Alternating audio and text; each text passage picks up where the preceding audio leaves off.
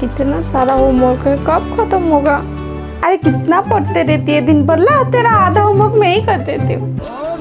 वाह सच में दीदी तू तो सबसे बेस्ट है ये ले। क्या हुआ तेरा चिप्स खत्म हो गया? ले मेरा वाला खा ले। हाय दीदी तुझे आज क्या हो गया? ले दे।